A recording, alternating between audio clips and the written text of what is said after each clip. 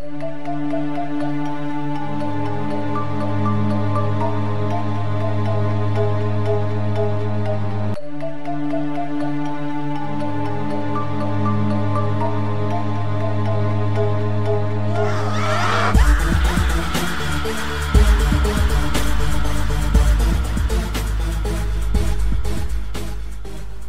everybody, thank you for listening to the Whatcast. Mike, in That's recent who I am. in recent news with the the disturbance, I don't even know. I don't want to say disturbance. That's that's an understatement. With all the stuff in the news about Are you referring to the clusterfuck in the Middle East, Mateo? yes, yes, I am. Okay. Let's let's just call it for what it is. It's a goddamn clusterfuck, and that's that's about it. Right. It's it's it's a mess over there now with uh for a lot of reasons, but there's a lot of things that's going around that that made me Like think the herp. the herp dogs is always going around. Never forget that kid, especially you youngsters. Wrap it up.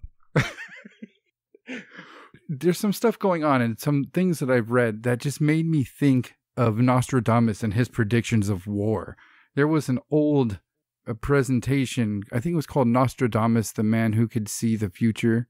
And it was done in 1979. I actually found it on YouTube, so I'll put it in the show notes if you guys want to watch it. But it's like uh the go to thing for Nostradamus for people our age. A, a lot of people I know have seen it, but I watched the shit out of it when I was a kid, and it scared the shit out of me because they go into a lot of stuff, but they focus on uh, World War Three and the end of the world, and they just there's a part to where what he writes is so shocking. They just say we're not going to interrupt. We're just going to let this play out for a while. You just listen to what he says, and it was it was pretty scary. But uh, we've decided just for shits and giggles to take a look at the writings of Nostradamus and kind of compare them uh, to modern events and see if anything matches up. Because I remember when September 11th happened, there was a lot of shit on the internet. I'm sure you remember, Mike, where people were like, "Oh, Nostradamus predicted this," and and Yeah. and then a year later, I there was all these that.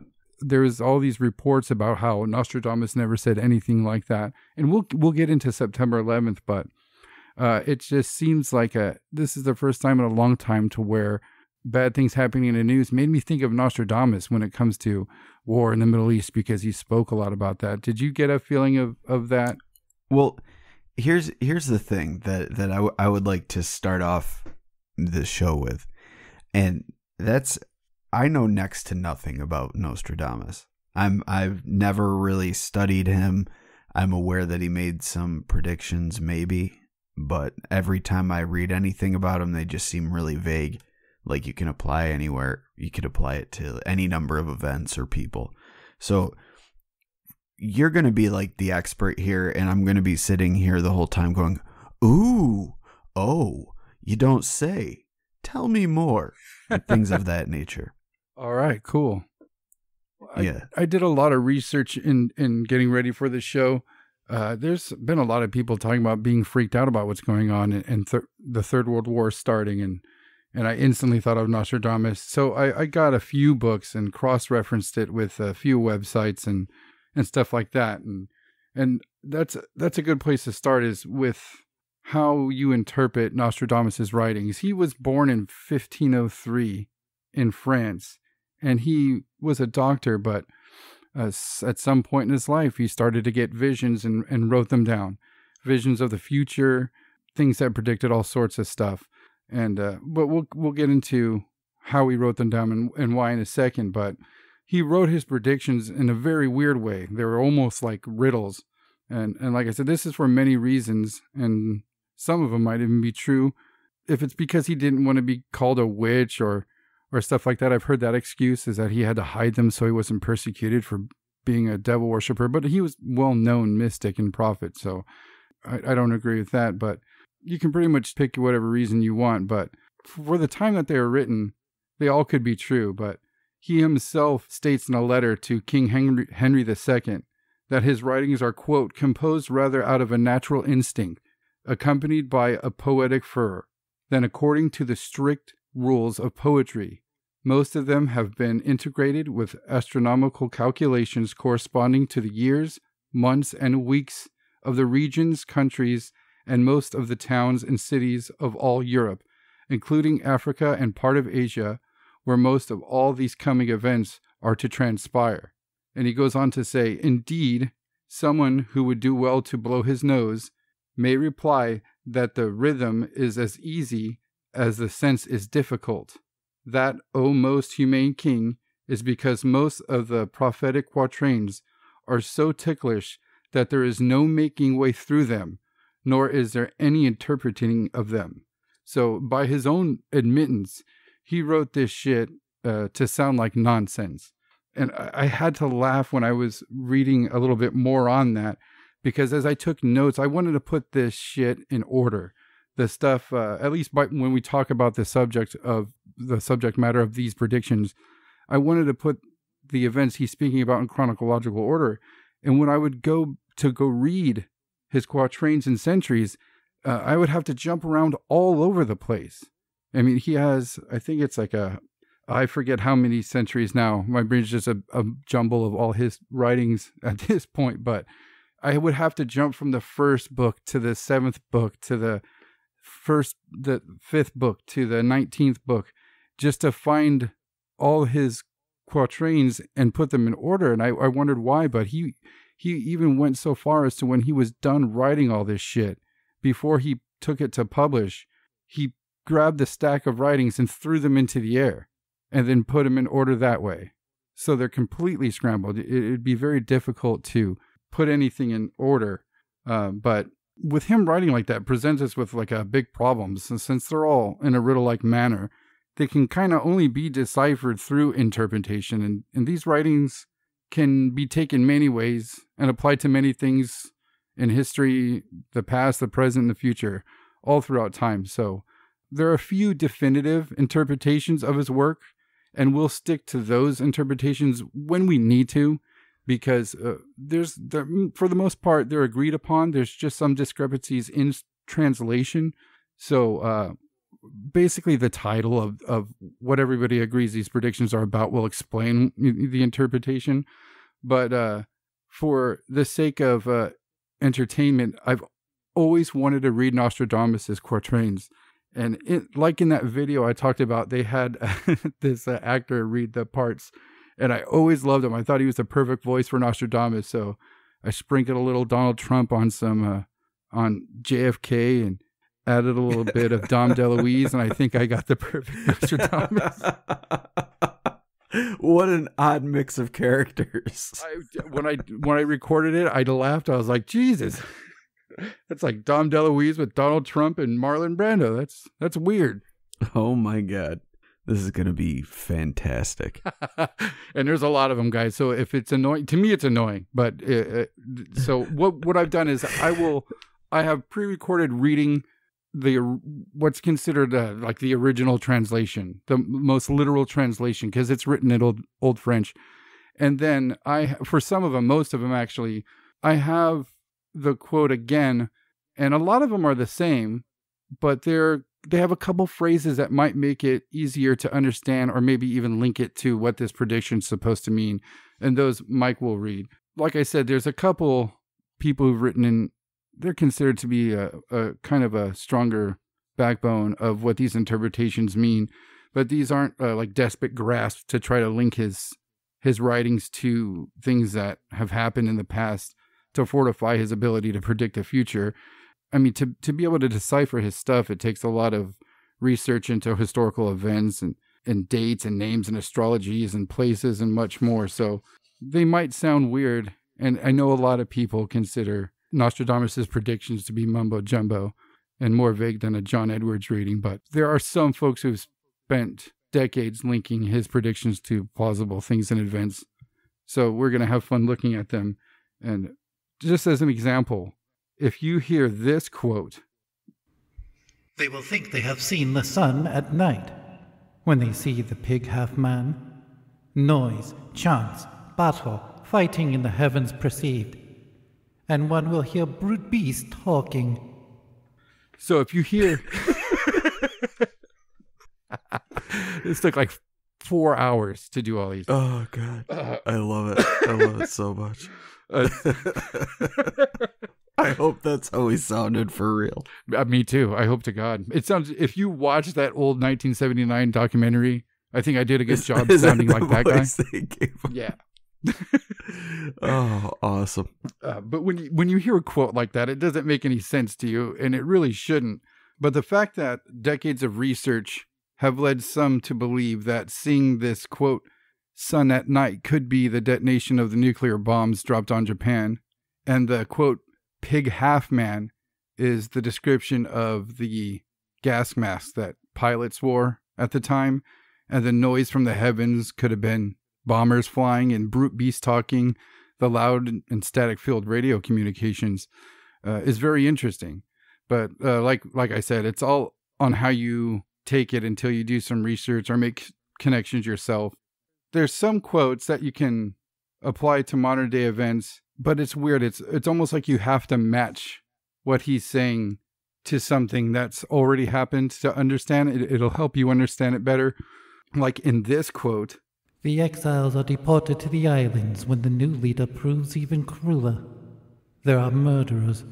Two at a time they will be questioned until they cannot stop talking. So you kind of have to look on where you can apply that. And like, you know, 20, 30 years ago, that didn't mean shit. But uh, it's easy to link that quote to Guantanamo Bay today. But I think I think that this could be applied to any place that is I mean even even the term island could be metaphorical. Most definitely. But that that's like a that's like an example of a good connection. And again, like I'm saying, it's just it just kind of depends on how impressive those connections are to you.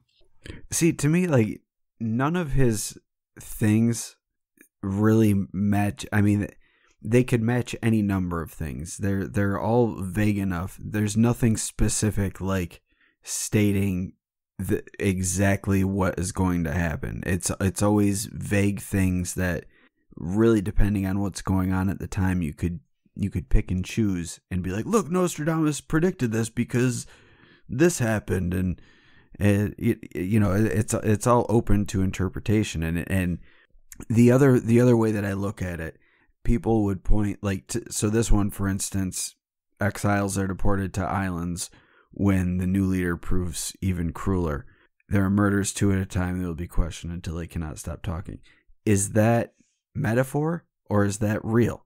Like, and then there's some that mix the two that that like, well, that's metaphor, but if you see this, this is exactly what happened. But why would he use metaphor and then tell exactly what happened as well? Like it, it doesn't make a lot of sense that they were exact predictions. Right. And you make a good point because there's some times where he's downright factual. No, this color, this number.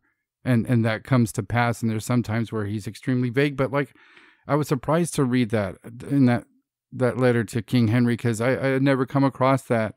And uh, I always I always kind of went with the whole he kind of had to hide it so he didn't seem like a, a cuckoo bird, but he was a he was well known for predicting things by everybody basically. So he wasn't trying to hide it per se. I I don't understand the reasoning for him writing it that way. And to to see him to to see him admit that some of this shit's never going to be able to be figured out because it's written so fucking dumb. I mean, the reason why he was writing the king in the first place was the last few books or the last few writings he had, he didn't know where to put them, and he wanted to leave them to the king because he figured he would know what to do with them. So I, I, some some things are vague, some things are weird, but we'll we'll get into some examples that might lend more credit or discredit. So, but before we get into his writings, we wanted to say that some of the terminology may seem antiquated or even a little off color, and some of these statements uh, made in his predictions may be offensive to certain groups of people, countries, or religions. Uh, again, we must remind you that these are not our opinions, our feelings, or ideas. We don't mean to offend anybody by repeating quotes from the 1500s. Our feelings in political matters are irrelevant, but for the record, our hope is for peace everywhere, always. And and uh, yeah, we don't we don't we're not. This is not what we think, and the terminology used is we some of it we might not agree with. So please don't take any offense. We don't mean to hurt anybody's feelings. It could be. I mean, we're talking about war in the Middle East. It could be touchy, and religion is involved with that. So we don't mean to bum anybody out. Rah rah. so, uh, you know, knowing what you think about how vague he could be, I kind of, I kind of wondered what you think if you came across his writings, you didn't know he was some type of future seeing prophet. Would you take it his writings as like a psychopath, and why why was his writings so uh, profound for so long? I wouldn't think he was a psychopath. I would just think he was a weird poet. some avant-garde like, uh, Like- hipster. Yeah, it's just just that's yeah. I'd be like, oh, these are weird, and honestly, probably most of them wouldn't even catch my attention.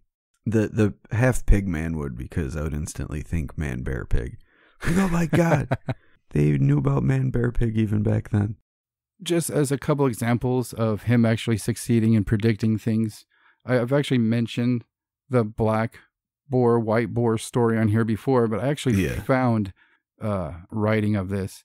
And do you want to read this account, Mike, in, in their own phrasing? I will. I will read it in the exact phrasing, but I will not do a a, a voice for that. That's okay. You got to get ready for something like that. I understand. Yeah, yeah. So I'm sorry. I'm sorry that I will not be bringing a character voice to this.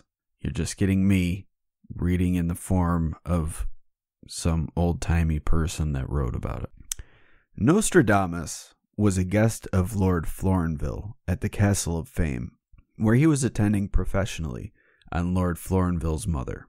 The doctor and his host were crossing the courtyard where two little pigs, a black one and a white one, were running about, as was the casual custom of livestock in those days.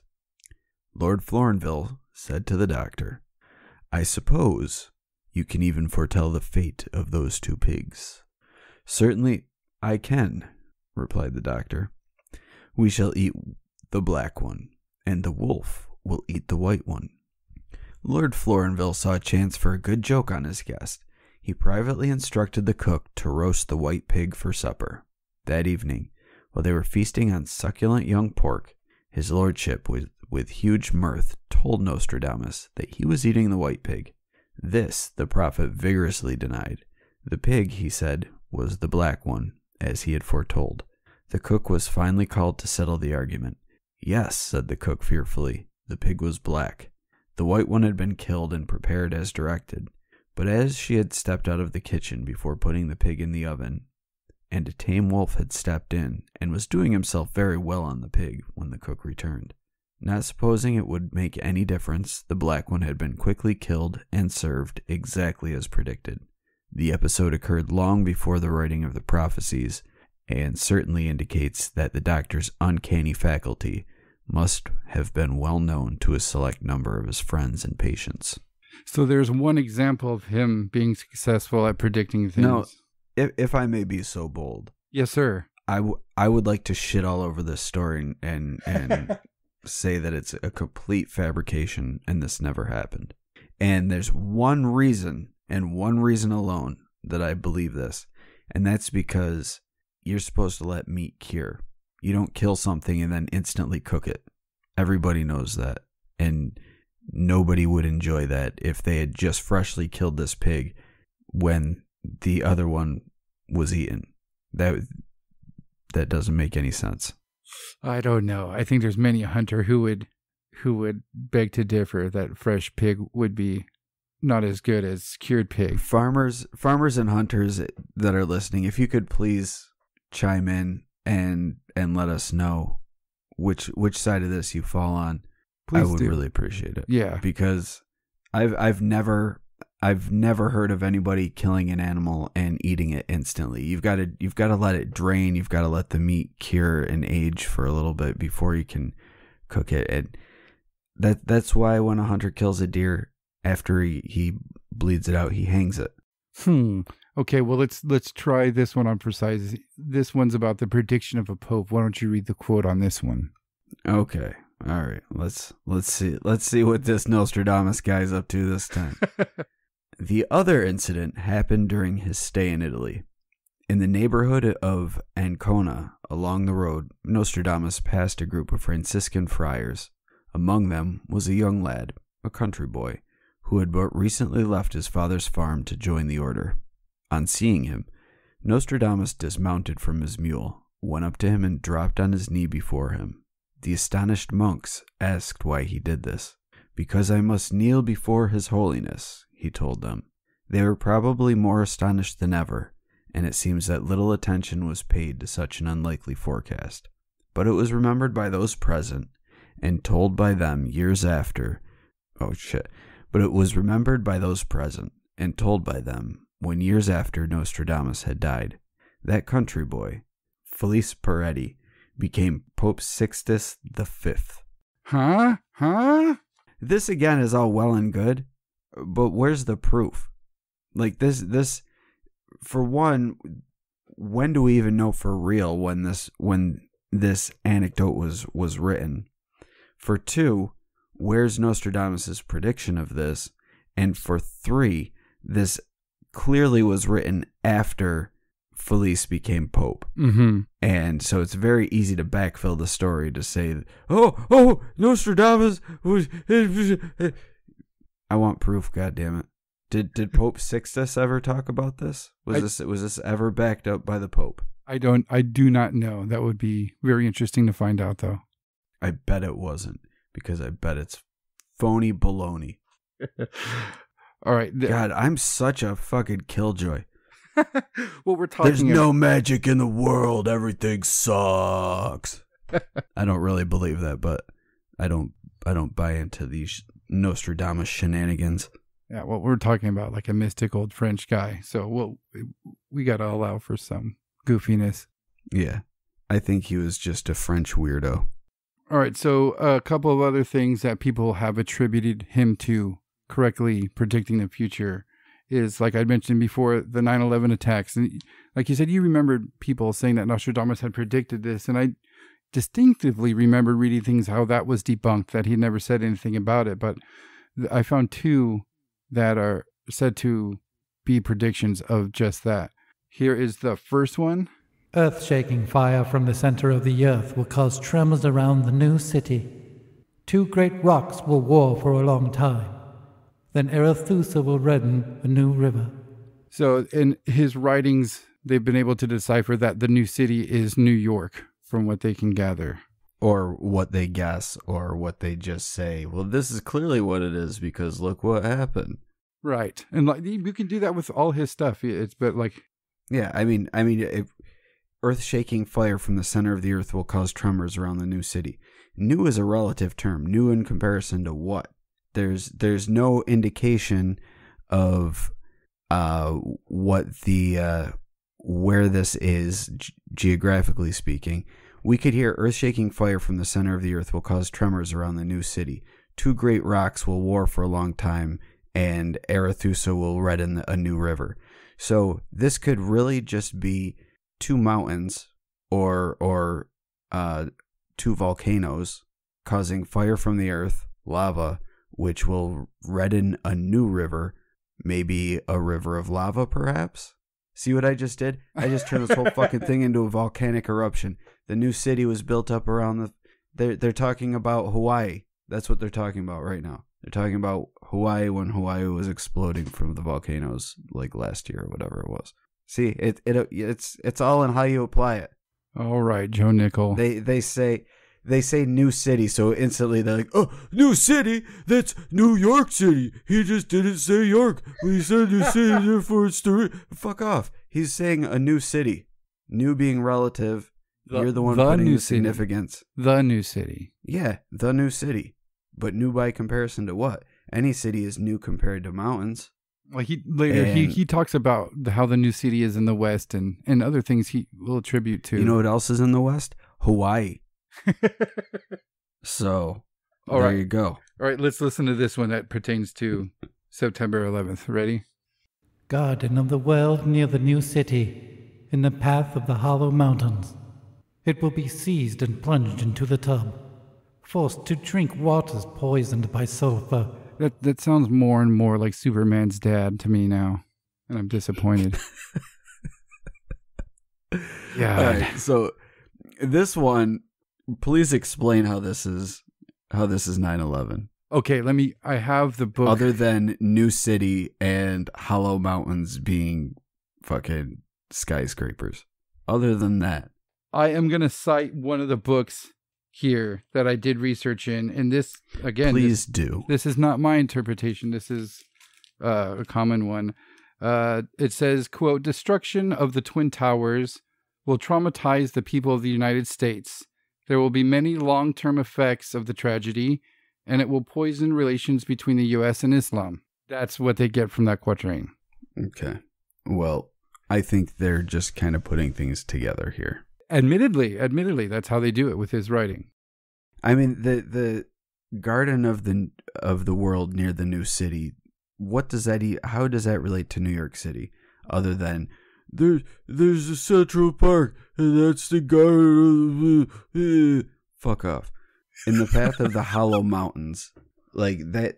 That's so vague. That could be anything. Yeah, yeah. It could be. It could be skyscrapers. Yeah, sure. Hollow Mountains. That's, I mean, that's pretty specific. That's odd. There's, I mean, that's he could have said cavern or something like that if Or he wanted. again, it could be volcanoes.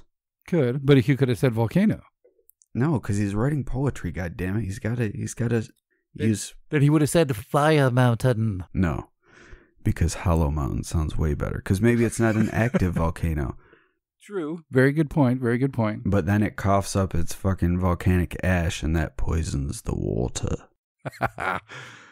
All right, the next quote. I I just found this one funny. Uh, this this is supposed to be about Hillary Clinton, and this is supposed to And be okay, be, before you read this one about Hillary Clinton, clearly, clearly, whoever wrote that book hates Hillary Clinton, and that's the only reason that they're true. Because there's nothing here, nothing at all that that relates back to Hillary Clinton. but un- unless you hate Hillary Clinton and you're just like, let me find something that Nostradamus said that is negative about Hillary Clinton. okay. Let's let's but okay, let's play the so quote. from there, please, please proceed. Yeah, yeah. Then we'll look up uh, an interpretation. Come on, phone. You can do it, baby. I love you. Great exertions toward the north by a man woman to vex Europe and almost all the universe. The two eclipses will be put into such a route that they will reinforce life or death for the Hungarians.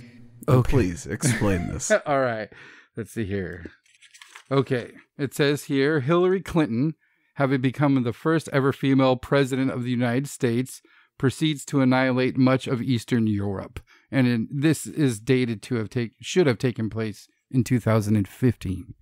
And that's one thing I will say about Nostradamus. He sucks at dates sometimes. There's there's like a there's another legend I think one I mentioned. How convenient. sometimes he gets it right and sometimes he doesn't. He's a goddamn genius. It's 50-50 every time. I mean, white pig, black pig. I mean, he had Yeah. he had Flip a goddamn coin. That's yeah. that's about it. Okay, and there's I got one more of things that are supposed to have come true. In no, no, no, no! Don't don't be glossing over this Hillary Clinton. this makes no fucking sense. How is this Hillary Clinton? And for and for two, if it was Hillary Clinton, then this proves that he's full of shit because Hillary Clinton wasn't president. True. Uh, the only thing, honestly, I think the only reason why Is the man woman? it is That's why it's because of He her business suits woman, too. Because and yeah, Yeah. and and the guy who wrote this book hates Hillary Clinton, and that's and that's it. There, there's nothing here that relates to Hillary Clinton at all. I also read an interpretation to where it, it it called for it being her, and that the two eclipses that will put be put into such a route was how she'll become so power hungry that she will be brokering for things that will cause life and death for for people For Hungarians, she's got beef with people when, from that when part has of the Hillary world. Clinton ever had beef with Hungarians? Who, who I'm I have no comment about any Clinton. Moving on, the next quote I the, the next quote I, I don't want to be put on their kill list if I talk shit about the Hungarians. Nope. Uh, the Catholic scandal. This is predicted to have taken place in 2017. Here's that quote. After the files the ass drivers burned, they will be obliged to change diverse garbs. Those of Saturn burned by the millers, except the greater part which will not be covered. The only reason they chose this is because ass drivers. No, I actually read another translation to where they this says where they will be obliged. They say ass pounders. is is that the other translation? No, it's uh, where they say they will be obliged to change their garbs. It it was translated to uh, uh obliged to uh like cease uh vile activity. And it was it was an even an Well, that, that's a pretty significant difference in translation there. Yeah, but I, I think that's part of his poem shit. It's it's it's like a demonstrate changing the clothes is changing habit. It's just how, his wordplay, I guess. I don't know. I don't know. But that's And- just one example. And what about the what about Saturn? Those of Saturn burned by the Millers. I What, have did, what? I mean, if it's a cult of Saturn, then it wouldn't even be the Catholic Church. It would be pagans, most likely. And why are Millers burning pagans? Let's see here what this summary says. Ready? Seeking to avert a catastrophe, the Pope defrocks a number of prominent uh, schismatics. There is a real danger of the fundamental rift in the Roman Catholic Church if matters are not quickly brought to order. Yeah, I don't know. I, I to me, it's not believable. All right, Mike, then let's let's get fun with it. Let's move on to the Antichrist. Maybe you'll like these. I, I always love a good Antichrist prophecy. So this one was a warning for 2010, and it's called Advanced Warning of the Antichrist. Let's listen to that quote. Take it away, Dom DeLuise.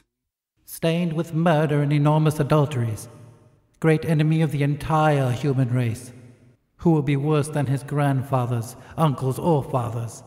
Hell, fire, water, bloody and inhuman. That sounds pretty antichristy to me. I don't know about antichristy, but it, it sounds like it could have been any number of warlords. ruthless, yeah, ruthless dictators, warlords, whatever you want to go by. I mean, you you could apply that to so many people that have been on this earth between Nostradamus' time and our time. I can I can agree with that. Let's move on to the next one, which is for the the predicted for the year 2032, and it's called the birth of the third Antichrist.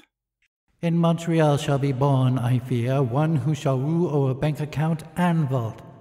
He'll raise an army from Milan's frontier, Favina and Florence drain of men and gold. He's born in Montreal.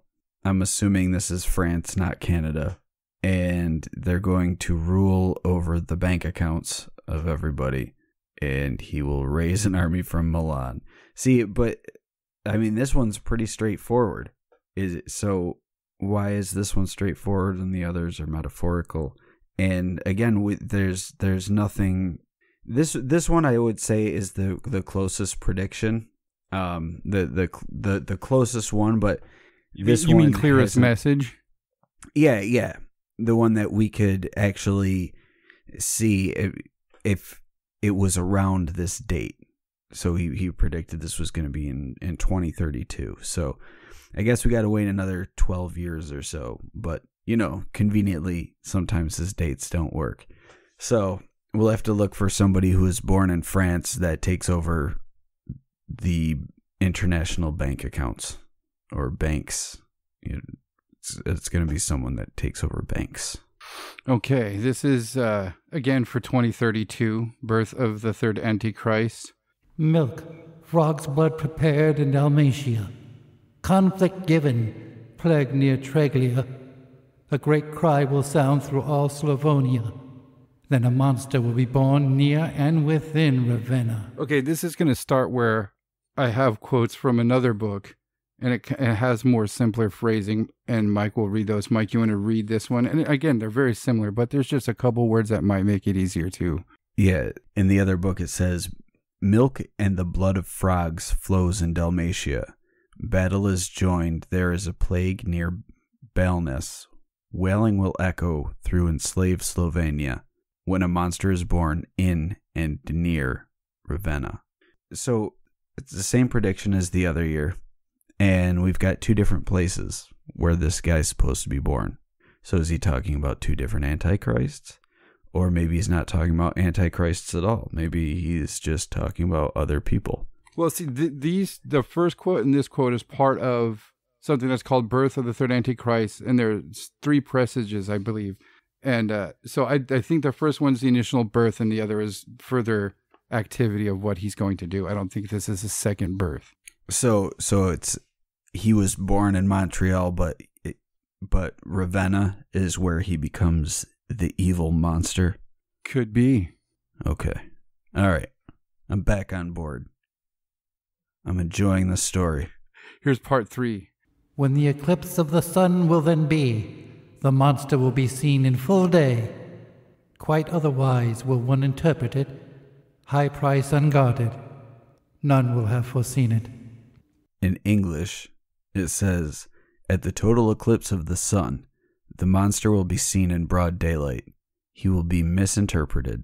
None will have foreseen the great cost.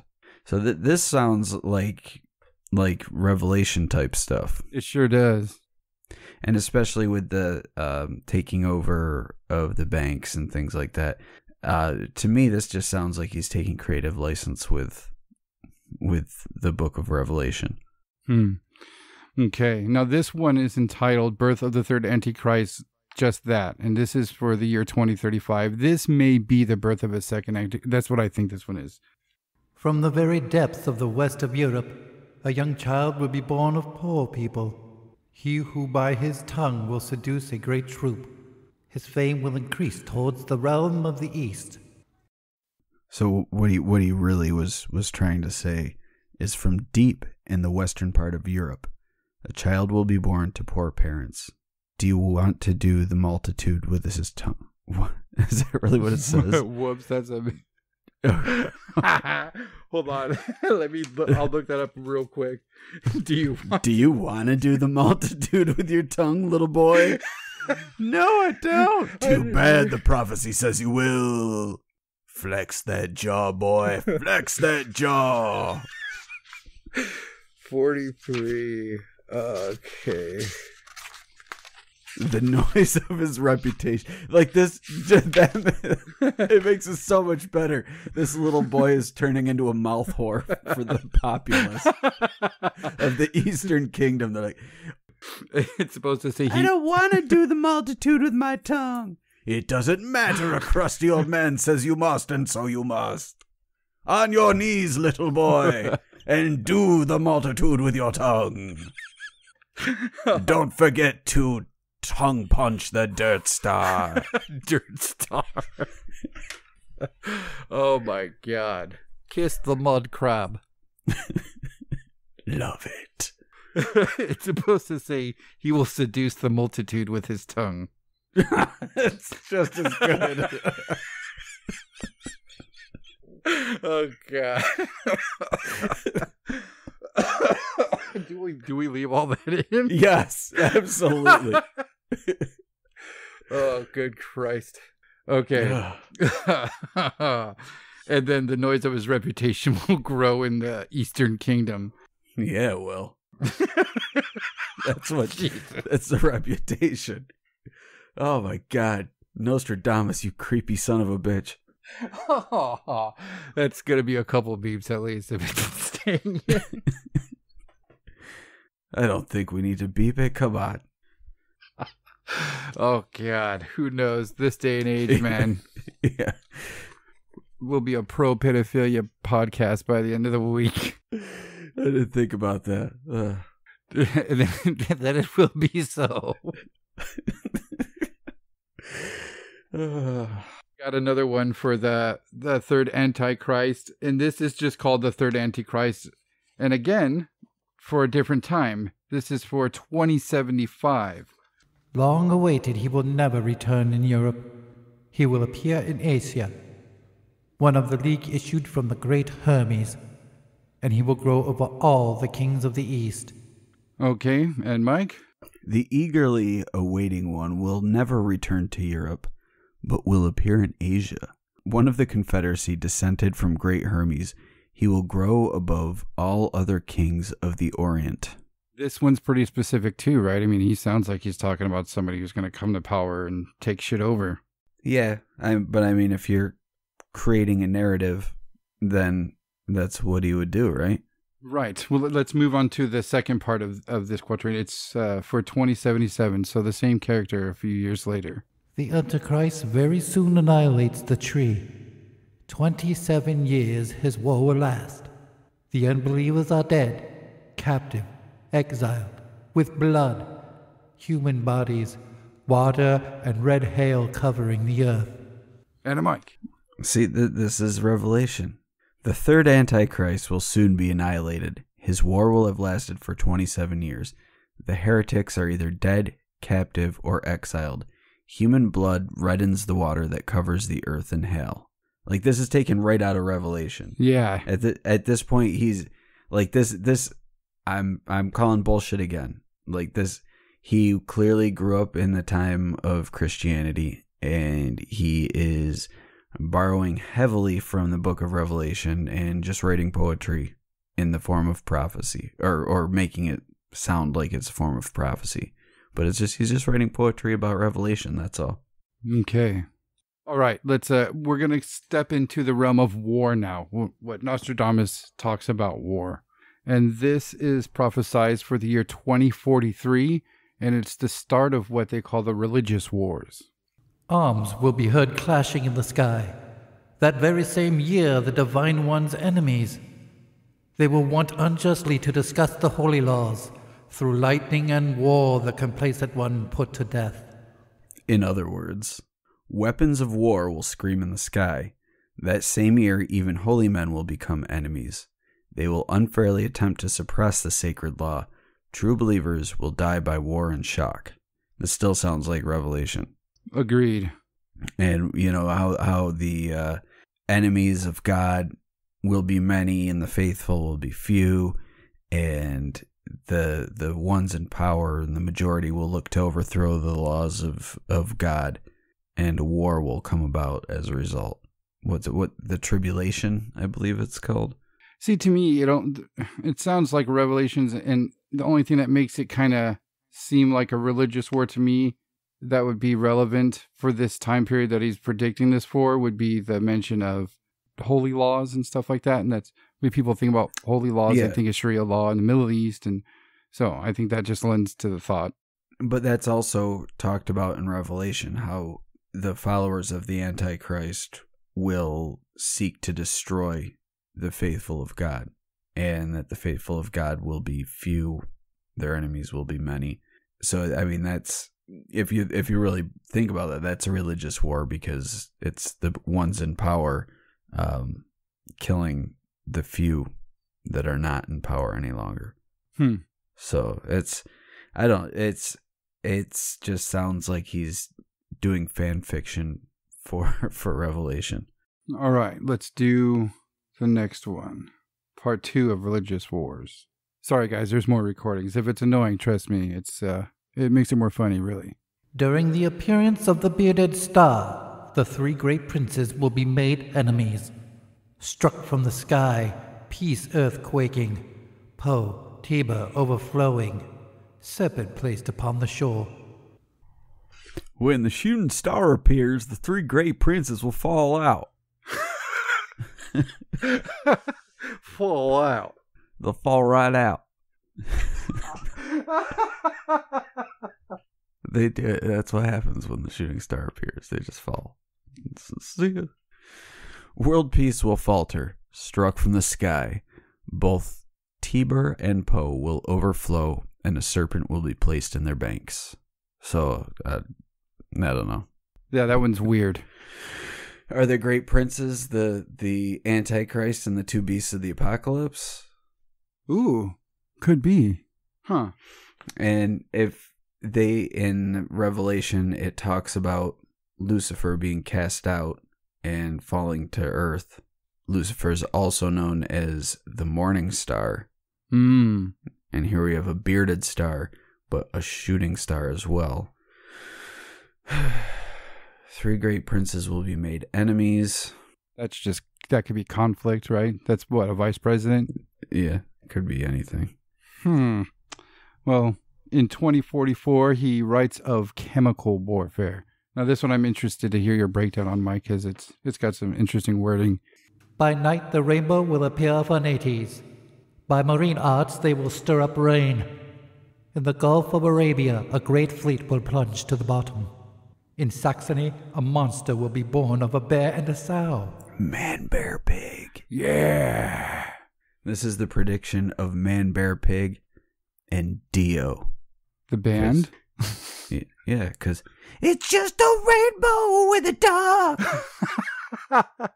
this this one's pretty grim though, man. I mean, this sounds like uh this sounds like chemical warfare to me. really? Yeah, rainbow in night. By night, the rainbow will appear, and by marine arts was that's to me that's a fucking uh, aircraft carrier battleship. Stir up rain, shooting a missile into the sky, hitting another fleet that will plunge to the bottom of the sea, being sunk maybe, and that's gonna piss off somebody in Saxony. A monster will be born. of a- And then Man Bear Pig comes out. yeah, and he joins the fight. Oh, fuck. Can you read the the the English? Yeah. A rainbow will appear by night near Nades. Seafaring men will call up artificial rain. A great fleet will be fused in the Arabian Gulf. In Saxony, a monster will be born of a bear and a sow and a man, and he will be half man, half bear, half pig. Uh, so there, it's not much expansion on what they're what it could mean there. I mean, it's just what you could have deciphered from what the original yeah, one said. and and I I mean a rainbow at night could be anything. It could be aurora borealis. You know, maybe it's appearing lower than normal because that looks like a rainbow at night. It could be explosions. Could be fireworks. Very true. All right, so now we're gonna move on to more scarier stuff, and uh, there is a couple. Scarier than Man Bear Pig teaming up with Dio to take over the universe. yes, surely sure. you jest, Mateo.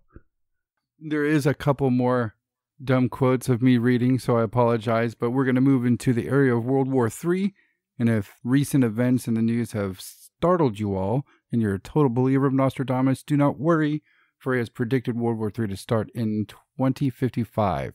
There's been other predictions that he uh, has made. There's something he calls World War III. The Great War is a separate war. The Global War is a separate war. And some say that he predicted that to start in. Uh, so so these are all all just different things. that all different wars, yes, Okay. throughout time. Okay. and uh, so- Okay, Nostradamus. Nostradamus. Okay. he likes drama. He likes problems, doesn't he? All right, so here we go. Uh, 2055 World War III. The horrible war which is being prepared in the West. The following year will come the pestilence, so very horrible that young, old, nor beast, blood, fire, Mercury, Mars, Jupiter in France. what the fuck? That's his- Just no. Just just that last part. Blood, fire, Mercury, Mars, Jupiter in France. that's Dio's influences on his writing. It's getting more metal. just, pla- just imagine that over some 16th Yeah. notes, fucking. some some driving guitars and fierce drum beats. So uh, Wow. read the the quote there for that one. The horrible war being prepared in the West will be followed the next year by a plague so terrible in its effect that it spares neither young, old, nor animal. Blood, fire, Mercury, Mars, Jupiter, and France. That's him uh, doing his astrology shit and for timing and stuff and matching it up, which they are able to do with some of his writings. They, I don't want that to be the case. I just want it to be like just random thought diarrhea. Just like, you know what? There's blood and there's fire. Fire reminds me of Mercury, and Mars is there, and Jupiter is there, and they're all having a party in France. that would be awesome. Yeah. But this this this quatrain, man, this one's pretty straightforward. There's no mincing words with this one. I think. I mean, the horrible war which is being prepared in the West, and then pestilence, so very very horrible. So are are all of these that we're reading are they all part of the same thing? Like was was he putting them all together like a like a uh continuate continuing story or continuing prediction? No, or were these done at like separate times, released at separate times? They're all done and released. I don't know if his books were all released at once. There's a 12 centuries, which were books, and there's they had a hundred quotes in them each, quatrains each. So, but that's what I was saying in the beginning is that when he he he wrote them in order, but then mixed them up when publishing. So you're not gonna find the quotes for the Antichrist in a row like that. You're gonna have to look all over the fucking place because he mixed it all up so weird. Well, that's inconsiderate. It is. Like I say, he threw the papers in the air and whatever order he gathered them in was how they were published. Man, what a dick. All right. Now we're moving to warning of future war. Warning of future war. Robots. So it's just like, yeah, robots and laser beams, man? I, I wish. Pew, pew, pew, pew. This is called for 2063, Oh yeah, this is this is prime robot war territory right here. right? He's gonna be talking about mechanical fucking man and and wands that spit light and disintegrate flesh. I I got a feeling. Well, you might be right. Check this out. Pestilence is extinguished. The world becomes smaller. For a long time, the lands will be inhabited peacefully. People will travel safely through the sky, over land and seas. Then wars will start up again. Oh man, future sucks. Damn it. There's no robots. It's all peace and then and then wars start up again. You know what the problem here is? So he's talking about the world shrinking. I think this means that um, the population on the planet will shrink. Yes, sir, because robots would have killed so many. This that's that is a, a very real possibility, and I'm I'm I'm hopeful that that's what he's referring to. But then the wars start up again, which leads me to believe when people travel safely through the sky over land and seas using what I'm presuming to be a, a spaceship that looks a lot like the one from uh, Flight of the Navigator. Yes, God, how do you read my mind like that? Jesus. You're And- Nostradamus. I am. I am. It's true. It's true. And that's why I have to debunk everything this fucking fraud says because I am the real Nostradamus. but anyway, the problem here is people. We're flying in the fucking spaceship, we're banging away, there's too many of us, and then the wars start again because we're fucking stupid humans and we suck. I agree. I saw the Flight of the Navigator spaceship or some type of like Silverhawks flying spacesuit. How that Maybe says both. Maybe they fly out of they like jump out of the flight of the navigator spaceship and have the fucking spacesuit on and fly alongside of it and it's all in formation and it looks really cool and make a good movie or movie sequel. Yeah, yeah. All right, so there's another thing that I threw in here because it goes with the timeline. Uh, this one is supposed to happen in 2067, and this is called global famine. The great famine which I sense approaching will often turn, then become worldwide. It will be so vast and long lasting that they will grab roots from the trees and children from the breast. That's pretty scary sounding, right? Well, yeah. It's scary sounding. I don't want to eat trees. Maybe I want to live in a future where the trees eat you. Yeah, that's probably what's going to be going on in 2067. Yeah, after the robots take over, trees become sentient. They're like, not the fucking people are busy flying around in their spaceships and fucking and killing each other. we can get to business and take this place yeah, over. we can take over and then we'll start eating the people. We are the great famine. I like it. All right, so in 2069, this is the warnings of global war. See, I, I feel like this guy's just all doom and gloom. He's like, you know what? I know that people suck, so if I make predictions about future wars, pretty sure it's gonna come to, to pass. Show enough. Yeah, it's it's uh it's a sure bet. People are always going to war. So, all right, here we go. Uh, warnings of global war, 2069. The shining deed of the Old One exalted anew. Through the south in Aquilin they will be very great. Raised by his own sister, great crowds, fleeing, murdered in a thicket of Emberlin. Now, for this one, I don't know if this is it's because he's using antiquated names of places, but I don't get uh, global war from that shit at all. You want to read the simplified quote? Yeah, yeah. The shining deed of the newly elected elder will be blown south by the great northern wind. Great halls are raised by his own sweat. Fleeing, he is killed in the bushes of Ambilon. Yeah, that's that is how is that a global war? That sounds like a newly elected leader gets forced away and murdered outside of his kingdom. Right. Let me take a look in this book and see what he. I'll, I'll list all the books in the show notes and what I used for this for those interested. It says here the war begins triggered by the Islamic world. The United States and China finally face up to each other in global in the global arena. What the fuck ever. that that's a grabbing one. I think I don't get. I don't know. I, I, let's look at that again. Shining deed of the old one. The shining deed of the old one, exalted anew through the south and Aquilin. They will be very. I I don't know. I don't get that one. Yeah. Maybe it's because we don't know where these places are. Maybe that would help. I don't know. Yeah. All right. So let's move along to what's called Global War One. This is for twenty. This is not a world war, people. This is a global war. right Okay? This is the globe at war, not the world. for twenty seventy. This is when this supposed It's to. this is also not the flat disc war. This mm. is a global war. round. Notice that round. Global. Three dimensional, All right. not flat. Of the regions subject to the balance, they will trouble the mountains with great war. Captives the entire sex, enthralled in all Byzantium, so that at dawn they will spread the news from land to land. That sounds like some bad shit's going on for sure. He's got to throw sex in there, though. That creepy old man. The- it- it- he meant uh here. th- You read the simplified one. It's not so creepy one, the simplified one, though. From the region governed by Libra, a great war will come, enough to disturb the mountains.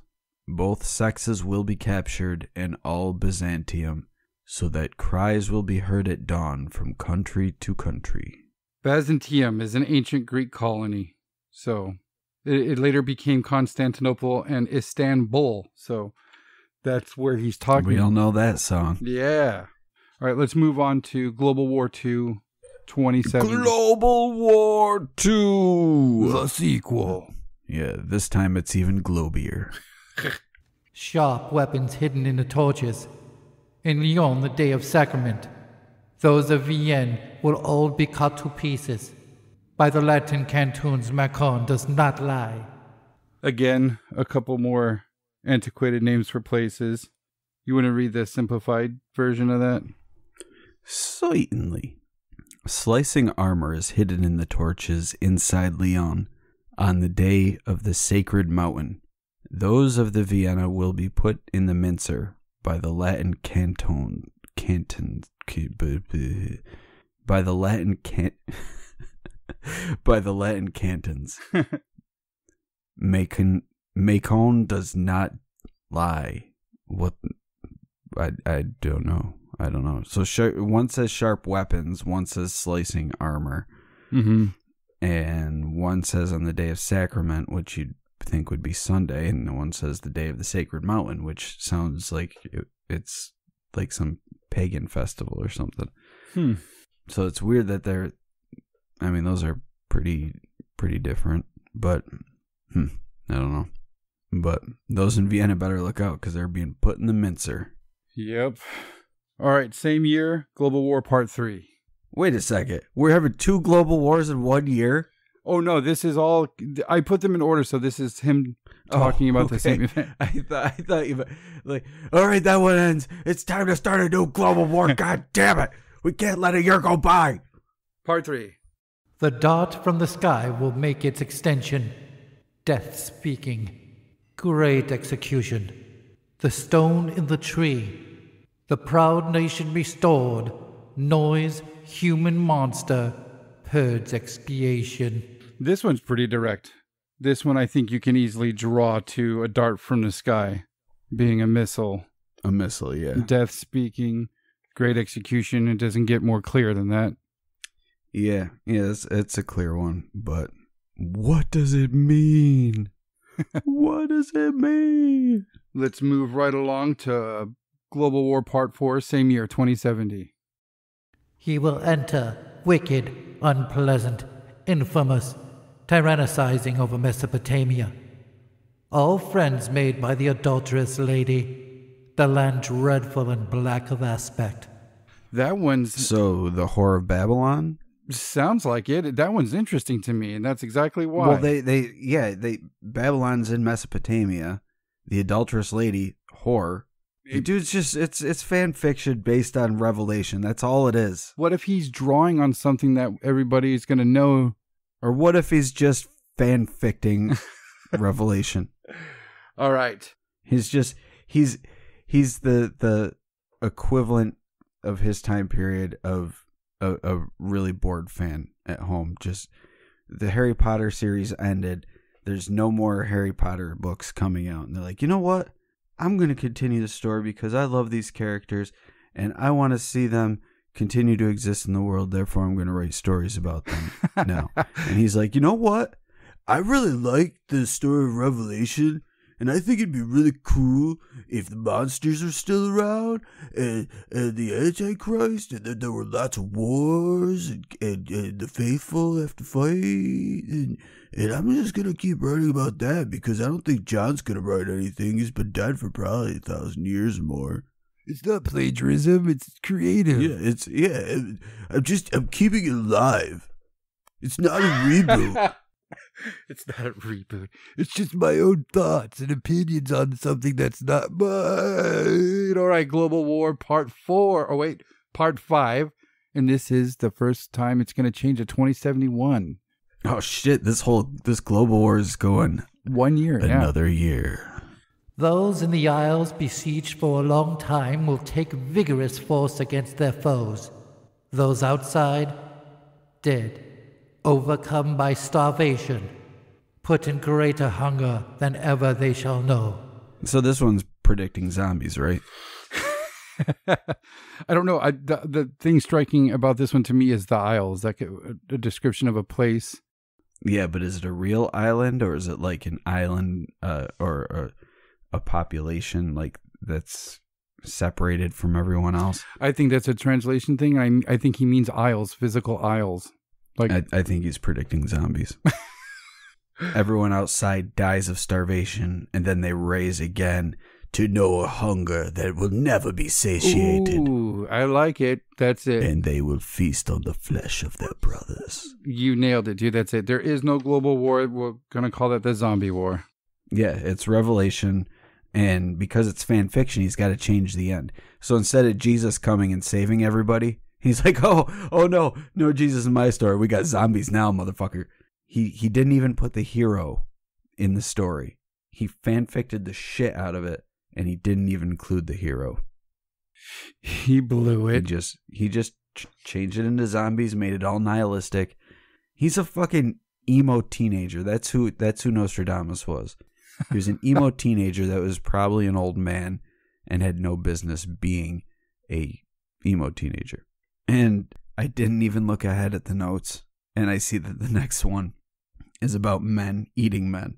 So zombie apocalypse clearly.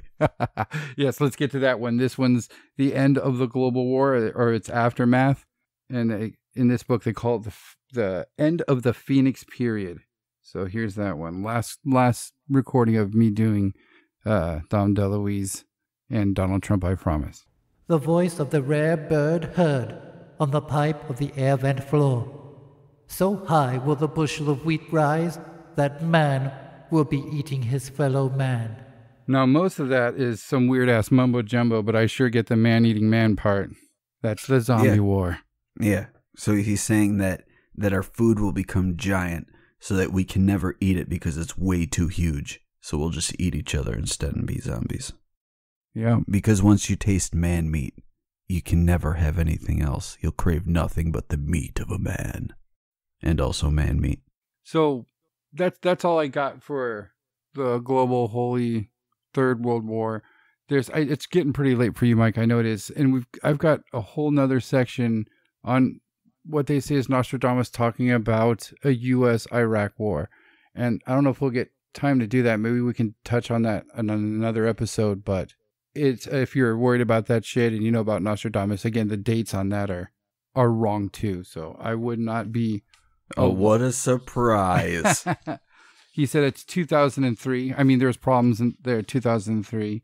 Uh, there. well, 2003, we did go to war with Iraq. yeah, but uh, it, that's that's. I think that is what he was talking about, not what's happening right now.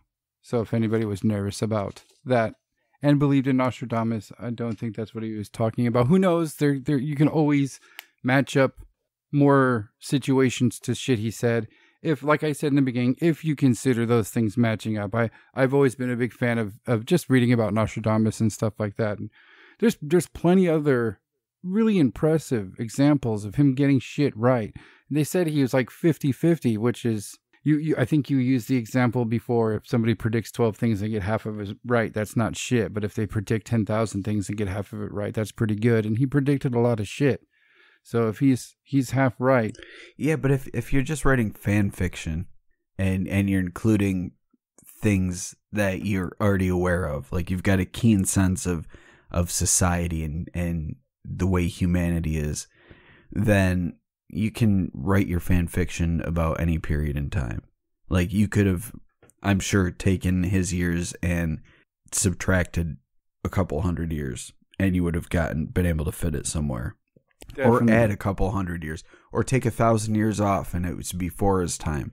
I I agree with you, but for me, like I, for him to be correct that much, and, and I mean for stuff that happens hundreds of years later, Yeah, but but but correct based on what? There's some Like there's based- some quotes. It's based on interpretation. there's some stuff he gets more specific. Uh, like I said in the, I'll put the link to that documentary. There's stuff that like the London fires is is pretty clear. Um, there's there's a there's a lot of stuff that's that's very impressive. I talked about the soldiers digging up his grave and seeing the plaque on his chest, which I I read the true story of that, which that one was more of a rumor, but the first time his body was dug up and moved to a new place, not disrespectfully or being robbed or anything like that, there was a plaque on his chest that had that date and year on it and stuff like that. But uh, he, I think he's right enough to where you got to pay attention. And I just can't get over the feeling when when we look at Nostradamus' shit that I think we're just playing it off too easily. I think that he wrote his shit very strangely, very riddle like, like a poem to strict poetry rules. He even said, and a lot of it won't ever be figured out or deciphered or whatever you want to call it. I think that if you play around with it enough, you'll be able to fit into things. But I think you can do that with anything. People who are proven frauds have made millions of dollars doing that, like Sylvia Browne and fucking knuckleheads like that. So I, I mean, I don't, I don't know where I stand with it, but I, I think there's something to Nostradamus. If he would have been able, I don't know why he wrote like that. Not able. I, I think that's the wrong way to say it. If he had chose to write things down in clear form, I think he'd be far more impressive. But that's the thing. Like I think people are reading too much into what he did. I think that, and and I think the whole thing. He didn't want people to know that he was a seer because of ridicule or whatever. I I don't think that that's really applicable here. No. I really think that he wrote these things and it was and we're seeing it now and we're able to apply it to this to events, but I don't think that these are predictions. I really think that these are just him writing poetry based on things that he's um, that he's seeing or that he has witnessed or things that he understands. Right. There's a couple of letters that he wrote to the king, and uh, those are those I hadn't read before. I found those at an old faithful uh, source, and I I, ha- I have to say that I didn't. I mean, of course, it's a very religious time. Everybody's religious, and he's a mystic and he's a seer.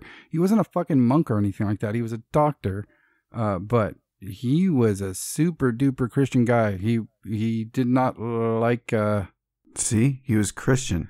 yeah, he didn't like Middle Eastern uh, religions. You know, it seemed like you know, and that's that's for the warning. so he was he was pro crusade. yes, very very very biased, which kind of changed a lot of of of the tone for me when it come to reading came to reading his stuff uh, again. But it's just very interesting, very interesting stuff. I think that you can. There's there's a lot of stuff that's vague, but there's a lot of stuff that's not, and I encourage people to to at least check it out. It's very interesting. So, are you sick of my Nostradamus impression, Mike? I'll never be sick of that. Like I I want to do a show with Nostradamus now. Maybe maybe next week we could get Nostradamus on. He'll fill in for you. It'll be it'll be the the Mike and Nostradamus show. I can just he can make predictions and I can tell him they're full of shit and then we'll have a good laugh. I'll just I'll just give him a, a nice slap and speak in plain English, you son of a bitch. I know you can. Well, that's it, guys. I I know I'm I'm a shitty wet blanket, but Nostradamus is is not impressive to me. He's about as impressive as Edgar Cayce, and he's not impressive at all. You don't think Edgar Cayce's impressive at all? No. Where's Atlantis, Mateo? Where's Atlantis? Nah, that's just one. That's one. That was like one of the biggest ones. Come on. Where is it? Hale-Bopp's still coming too, guys. Join Heaven's Gate, cut your dick off, and wear a tracksuit. We've got these fresh new Nikes. Thank you for listening to the Whatcast. You can find us on Twitter, Instagram, Facebook, iTunes, and YouTube. Enjoy the podcast. Get yourself a Whatcast t-shirt or a sticker pack. Who was that dude on that one episode? Try the links in Homie's page. All this and more can be found at www.thewhatcasters.com.